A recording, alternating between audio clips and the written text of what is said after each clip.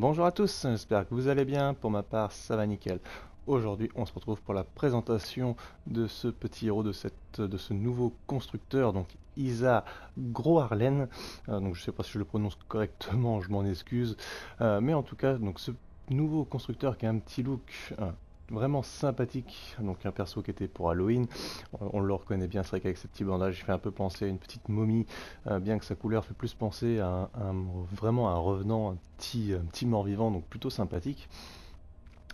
Donc ce euh, constructeur qu'on obtient en faisant les quêtes de l'événement, donc obtient donc l'opération construction, la pulsation plasma et la charge taureau. Donc l'opération construction, comme d'habitude, va coûter 50 points d'énergie. On va mettre 100 secondes pour la récupérer.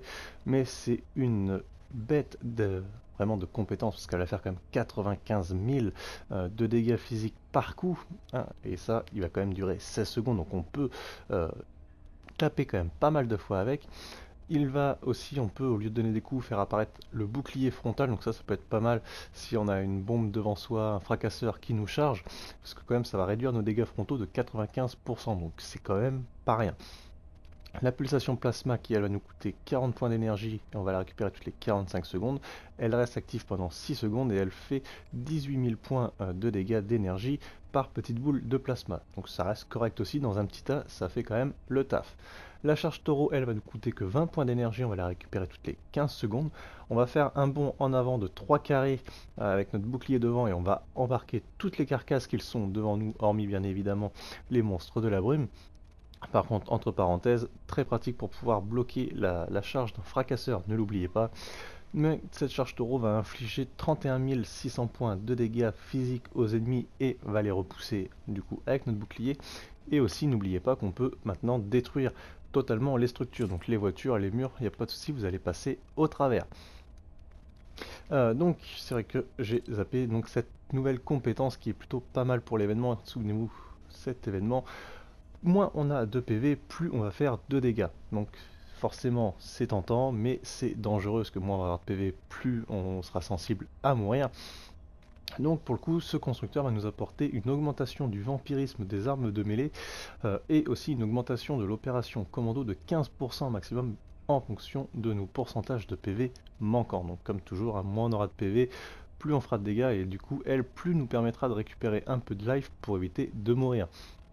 Surtout que si vous jouez avec l'arme, avec les armes de l'événement, à chaque kill que vous allez faire, certes votre arme va infliger un peu plus de dégâts parce qu'elle va vous retirer des PV. Donc jouez un petit peu avec une arme de mêlée justement qui elle bah, fait la même chose, hein. va vous faire perdre de la vie, au moins avec le vampirisme vous allez en regagner un petit peu ce qui va faire que vous allez pouvoir durer un peu plus longtemps. Mais voilà, si on met ce nouveau constructeur en principal en plus de tout ça, euh, l'avantage c'est que les éliminations réalisées avec les armes de mêlée et l'opération construction ont 50% de chance, donc une chance sur deux, de générer une apparition. Donc l'apparition, on s'en souvient, c'est la petite boule euh, bleue, bleu-violette, euh, voilà, qui euh, apparaît à côté de nous et qui fonce sur un des mobs et qui va lui infliger 62 points de PV de dégâts d'énergie dans un rayon de 0,5 carré. Et ça, on va le récupérer toutes les 1,5 secondes. Donc autant dire que quand on est un peu dans le tas, on la voit régulièrement s'enclencher. Étant donné que c'est un constructeur, il a une base qui va renforcer les structures euh, pris par la base de 60 points d'armure, ça va s'étendre sur 4 segments, et aussi surtout, chose pratique quand on aime jouer avec les armes de mêlée, c'est que les attaques de mêlée vont repousser euh, les ennemis, et surtout au moment où justement on va les faire euh, les faire, euh, on, va les repousser, ça va déclencher une surcharge cinétique qui va infliger 25 points de dégâts d'énergie euh, aux ennemis proches, donc c'est plutôt pas mal. Après les coups critiques en mêlée, en plus, ça va augmenter les dégâts d'impact de mêlée de 10%, et ça pendant 5 secondes. Et ça peut se cumuler 5 fois, donc ça peut vraiment être pratique. Quelqu'un qui arrive à gérer, euh, vraiment à être au corps à corps, là il va quand même pouvoir faire une petite tuerie, un petit massacre. S'il arrive à avoir quelques coups critiques, c'est tout bénef.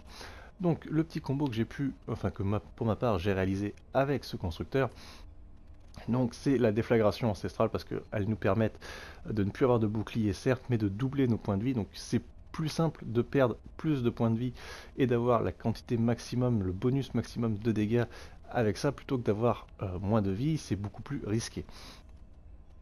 Donc pour pouvoir activer cette compétence, j'ai mis l'aventurier qui lui va me permettre qu'à partir du moment où comme je n'ai plus de bouclier, je vais en permanence, donc chaque seconde, récupérer 4 points d'énergie. Donc ça c'est vraiment très pratique, ça reste toujours très utile d'avoir de l'énergie à foison pour pouvoir claquer toutes nos compétences. Et donc du coup j'ai pris le constructeur qui lui va me permettre, comme je n'ai plus euh, de bouclier, bah, quand même d'augmenter un peu ma résistance euh, pour éviter de mourir trop rapidement. Donc comme malheureusement c'est vrai que euh, j'avais rien de trop sur les armes de mêlée, moi j'ai augmenté un petit peu la pulsation plasma, donc là je l'ai augmenté de 30%, donc c'est vrai que euh, quand on est dans le tas ça fait quand même un bon petit dégât. Je vais augmenter la surcharge cinétique, les dégâts quand même de 50%, donc ça c'est vraiment pas rien.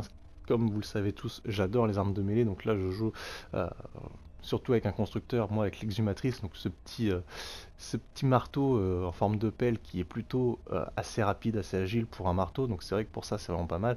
Donc des coups, des surcharges cinétiques, j'en déclenche quelques-uns, donc c'est toujours agréable de voir ce 50% de dégâts supplémentaires avec. Et bien évidemment, bah, pour ne pas mourir, parce que comme je vais perdre des points de vie en permanence avec mes armes, je vais augmenter, je vais toutes les animations que je vais faire voilà, vont me rendre 39 points euh, de PV pendant 3 secondes.